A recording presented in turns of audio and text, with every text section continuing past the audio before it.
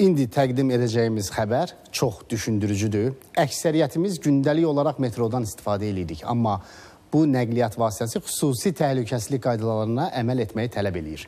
Hamı da bunu yaxşı bilir.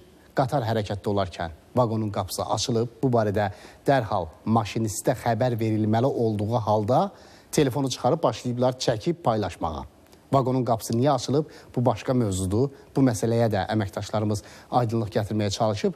Maraqlı məqam odur ki, niyə sərnişinlər yaranan təhlükəyə biganə yanaşıb və maşinistə bu barədə xəbər verməyib. Əməkdaşımız Aytac Babayeva bunu öyrənməyə çalışıb. Baxaq.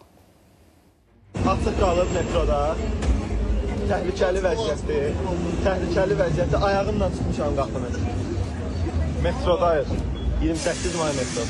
Bir neçə gün öncə 28 may stansiyasında vaqonların birində qeydə alınan bu görüntülər kifayət qədər ciddi təhlükədən xəbər verir. Nəzərə alsaq ki, bəzən vaqonlarda çox böyük sıxlıq müşahidə olunur. O zaman nələr yaşana biləcəyini təsəvvür eləmək yəqin ki, çətin deyil. çəki məşğul olmaqdansa aidiyyatı qurumlara, metronun nəzarətçilərinə bildirməyə daha məqsədə uyğun olar. Birinci növbədə elə maşinistlə əlaqə saxlayıb deyə bilər ki, filan vaqon, filan qapı açıqdır. Zəhmət olmasa gəlin bağlayın. Əksini çəkib paylaşırlar. Düşüb ora təkərin altında qalandan sonra maşinistə 10 dəfə xəbər ver.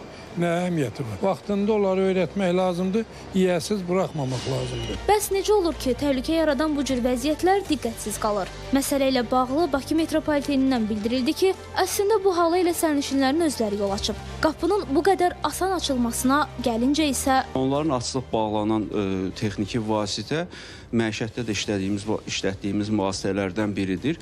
E, Bunun belə olmasının əsas səbəbi həmin qapıların zərurət yarandığı təqdirdə dərhal açılıb bağlanmasının təmin olunmasıdır. Bu mənada o qapılara xüsusi olaraq bloklamaq e, və yaxud da xüsusi qoruyucu vasitələr qoymaq qəti qadağandır. Maşinist qatarı qəbul edib səhər xəttə daxil olarkən bütün qapıları deyil, ümumiyyətlə vaqonun bütün sahələrini mütləq qaydada yoxlayır. Belə hallara yol verilməməsi sərnişinlərin məsuliyyətini tələb edir. həyatını və həyatımızı təhlükəyə atanların barəsində hazırda araşdırma aparılır. Amma hər halda cəmiyyətimiz üçün bu cür təhlükə yaradanlara məsuliyyətsiz davranışlara qarşı vətəndaş fəallığı, ictimai nəzarət də güclü olmalıdır. Çünki söhbət hər birimizin təhlükəsizliyindən gedir. Aytac Babayeva, Kübra Məmmədova, Sənan Kərimli, ATV xəbər.